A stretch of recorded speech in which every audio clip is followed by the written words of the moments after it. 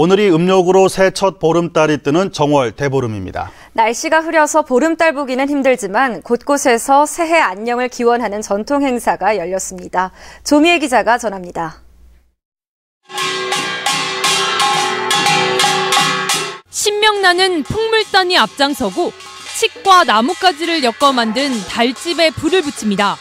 지난해와 새해 애군까지 모두 태워 날리듯 불길이 활활 치솟고 올 한 해도 풍년이 들길 기원합니다.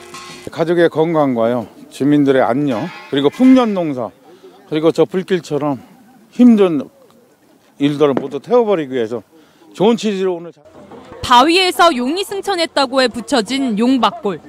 해마다 정월대 보름이면 주민들은 이곳에서 마을의 안녕과 화합을 기원하는 제를 올립니다.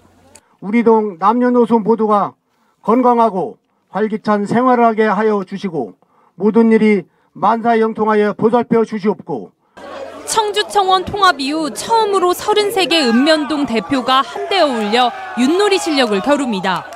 신명나게 유출 놀며 승부를 떠나 한 가족이 된 통합시의 상생 발전을 기원합니다. 너무 화합된 분위기로 모든 근심 걱정 잃어버리고 즐겁게 하는데 이 기운을 이어받아서 올 한 해 전체적으로 좋은 일만 가득했습니다. 흐린 날씨로 보름달은 보기 힘들었지만 애군을 쫓고 새해 안녕과 복을 기원하는 도민들의 마음은 올해도 같았습니다. MBC 뉴스 조미입니다.